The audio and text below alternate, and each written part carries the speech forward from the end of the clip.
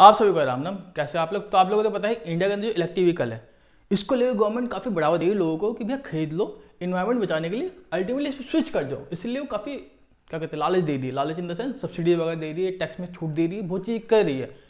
तो ऐसे में जो सब्सिडीज है, जो कंपनी को मिलती है, उसको लेके कई सारे स्कैम हुए हैं। बहुत सारे, जिसको लेके आपको जाना बहुत ज़रूरी है।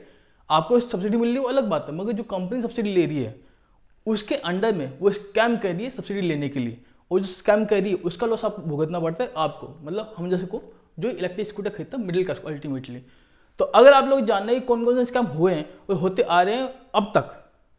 क्योंकि अभी जो न्यूज़ आई है उसमें ये आया है कि गवर्नमेंट ने नोटिस भेजा सबको। सारी कंपनी नोटिस भेजा है। चाहे कोई सी पकड़ लो, सबको नोटिस भेजा है टेस्टिंग के लिए कि भैया हम आपके जितने भी व्हीकल है, उसको खोल खोल के चेक करेंगे। एक एक करके चेक करेंगे। तो अगर आप लोग जाने कि स्कैम क्या था और कंपनी कैसे स्कैम करती है इलेक्ट्रिकल सब्सिडी लेने के लिए तो भाई वीडियो पूरी एंड देखना क्योंकि मैं ऐसी इन्फॉर्मेशन डेली उसे डालता हूँ। तो भाई वीडियो स्टार्ट करने पहले आपको अपनी स्क्रीन के ऊपर लाल बटन दिखा सब्सक्राइब वाला। उसको दबा के उसका कलर चेंज कर देना ताकि आपको इन जितनी भी इन्फॉर्मेशन है।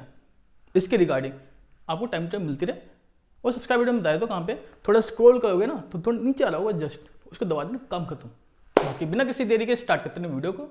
आप लोगों को तो पता है कि सब्सिडी का मेन मुद्दा ये था कि लोगों को इलेक्ट्रिक व्हीकल वो सस्ते में मुहैया कराएँ मतलब अवेलेबल कराएँ। मगर आजकल हो ये रहा है कि सस्ते सस्ता इलेक्ट्रिक स्कूटर भी काफ़ी महँगा होता है मतलब लाख रुपये के आसपास चला जाता है। आजकल लाख लाख रुपये दो दो लाख रुपये के इलेक्ट्रिक स्कूटर आते हैं तो गवर्नमेंट की पॉलिसी यहाँ फेल हो रही है। और गवर्नमेंट ने सब्सिडी इसलिए भी लागू की थी ताकि जितनी भी कंपनी है, वो मैक्सिमम जो अपने पार्ट्स हैं इलेक्ट्रिक व्हीकल के, वो मेड इन इंडिया यूज़ करें मेड इन चाइना कम यूज़ करें। तो इसके लिए कंपनी नहीं कंपनी नहीं गवर्नमेंट चेकिंग भी करती है कि कितने ऐसा किया उन्होंने। तो मज़े की बात यह है कि कंपनियाँ जब टेस्टिंग के लिए भेजती हैं मॉडल उसके अंदर तो सारा चीज़ ठीक करती हैं। ए टू जेड मगर जब कस्टमर के लिए बनाती हैं तो सारे पार्ट चाइना से इंपोर्ट के लगा दिए चेप दिए। जिससे कि उनकी कॉस्टिंग कम आई प्रॉफिट ज़्यादा हुआ, और गवर्नमेंट को ये कह दिया कि हमने सारे मेड इन पार्ट यूज़ किए, जैसे कि आपने टेस्टिंग में बोला था।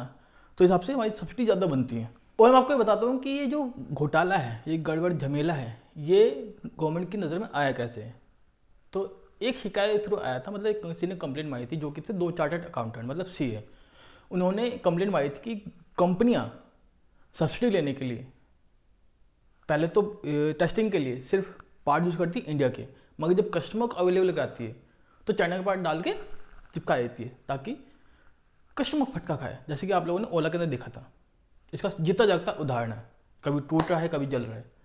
तो ऐसे में गवर्नमेंट ने इसको सीरियसली लिया। हमारे गडकरी जी ने। उन्होंने सीरियसली लिया उसका ऑडिट कराया। और पाया कि सच बात है, कंपनी ऐसा कर ही रही है सब्सिडी लेने के लिए। और इन सब के बाद एक पॉलिटिक्स का मुद्दा भी आया था जिससे कांग्रेस ने उठाया था। उसने ब्लेम लगाया था कि एक हांगकॉन्ग कंपनी है हांगकॉन्ग की। उसने सिर्फ़ 22 लाख रुपए इन्वेस्ट किए इंडिया के अंदर। इसी पॉलिसी के अंदर में कि हम इलेक्ट्रिक व्हीकल बनाएँगे और बेचेंगे मार्केट के अंदर। और इसके लिए उसने पिछहत्तर करोड़ रुपए का सब्सिडी उठा लिया गवर्नमेंट से। और ये चीन के अकाउंट में ट्रांसफ़र भी हुआ है। ऐसी बात नहीं है। ये सारा ब्यौरा है। अगर आप लोग आर डालोगे, आपको पता चल जाएगा। हांगकॉन्ग कंपनी जो अभी गवर्नमेंट है, उसके अंडर में इतना बड़ा घपला चल रहा है। और जो सब्सिडी का पूरा मामला है मतलब बजट है, वो दस हज़ार करोड़ का है। दस हज़ार करोड़ का। इसमें से लगभग लगभग आपका आठ हज़ार करोड़ के आसपास का इलेक्ट्रिक व्हीकल में दिया जाता है, चाहे ई बस हो ई गाड़ी हो, इलेक्ट्रिक स्कूटर हो थ्री व्हीलर हो। बाकी जो है कंपनी को दिया जाता है। और इस कंप्लेन के बाद जो कंप्लेन हुई गवर्नमेंट की नज़र में आया तो वो काफ़ी कड़ी हो गई और काफ़ी सख्त तरीके से इस चीज़ की वो क्या करी है इंक्वायरी करी है। इसके लिए जिसने भी रिसेंटली इलेक्ट्रिक व्हीकल खरीदे थे, उसके बाद गवर्नमेंट की एजेंसी जा रही है, और उसको वापस खरीद रही है, उनको पैसे देख के। मतलब जितने भी खरीदे उतने पैसे देख के वापस ले रही है। और उनको सही बात बता रही है कि भैया, इसलिए हम खरीद रहे हैं। और उनको भेज रही है अपने दो इंस्टीट्यूट के अंदर, जो कि ए आर ए आई और सेंटर फॉर ऑटोमेटिव जो कि मानसर के अंदर है। वहाँ पे इसको खोल खोल चेक किया गया है। वहाँ पे देखा गया है कि इनके अंदर भैया, झोल तो है सब्सिडी के लिए, झोल तो किया कंपनी ने। इन्होंने ऑफिशियल चेक किया ऑफिशियली अपनी रिपोर्ट बताई है। तो अब मैं आपको थोड़ा बताता हूँ कि गवर्नमेंट ने ये आखिर सब्सिडी चालू ही क्यों की और कब की?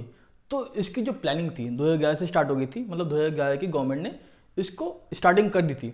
और 2013 में पूरा प्रोजेक्ट बनकर तैयार हो गया था national mission of electricity mobility और इसके ठीक दो साल बाद फेम वन सब्सिडी आई थी और थोड़े टाइम बाद फेम टू भी आ गई थी। तो जो फेम वन सब्सिडी आई थी 2015 के अंदर, जो कि थी faster adoption and electricity manufacturing इसके अंदर ये था कि एक इकोसिस्टम बनाना था, जो इलेक्ट्रिक व्हीकल था और हाइब्रिड इलेक्ट्रिक स्कूटर्स थे मार्केट के लिए।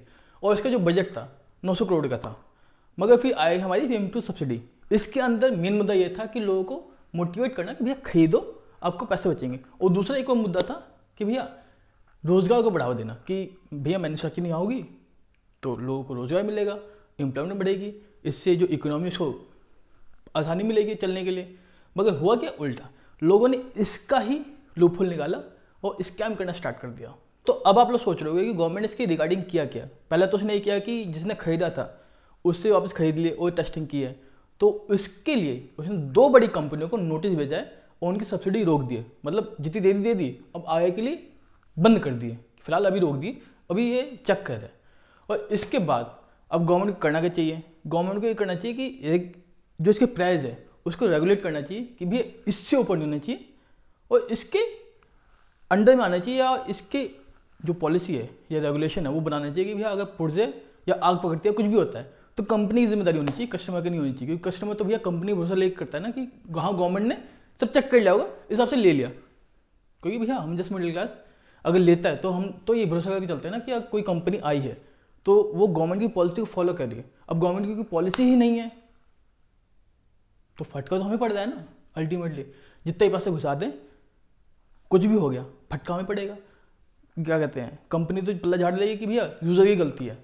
जैसे कि अभी रिसेंटली हुआ था, संजीव जैन के साथ सस्पेंशन टूट गया था, कॉलोनी के अंदर चलाने में ही। वो कंपनी ने कह दिया, भैया, हमारी गलती नहीं है। अब तो देखने वाली बात है कि जो दो बड़ी कंपनी आई है, इसके बाद और कंपनी आएँगी या नहीं आएँगी? तो अगर आप लोग इसके बारे में अपडेट रहना है मतलब इस कैम में क्या चल रहा है तो भैया सब्सक्राइब करना पड़ेगा। और अगर आप लोग चाहते हो अपडेट रहना हो ज़्यादा तो आप लोग मेरे को इंस्टाग्राम में फॉलो कर सकते हो। और अगर आपके मन में कोई क्वेरी या डाउट है तो आप लोग मेरे को इंस्टाग्राम में डीएम पूछ सकते हो। मैं आपकी क्वेरी को हंड्रेड परसेंट सॉल्व करने की पूरी पूरी कोशिश करूँगा। और अगर आप लोग चाहते हो कि उस क्वेरी पे डिटेल वीडियो बना दूँ तो ही मेरे को बता सकते हो। मैं अपनी इन्फॉर्मेशन जुटा के आपके लिए डिटेल वीडियो लेके आ जाऊँगा, ताकि आप लोगों को डिटेल इन्फॉर्मेशन मिल जाए। In a limited period of time और एक वीडियो फॉर्मेट के अंदर में। ताकि अगर आप लोग उसे शेयर करना चाहो तो शेयर भी कर सको जब मन करे देख भी सको। बाकी इस वीडियो से वित्त अगर वीडियो चलेगी मीटिंग लगी तो आपको पता क्या करना है। लाइक कम सब्सक्राइब तो मिलते हैं बाय बाय टेक केयर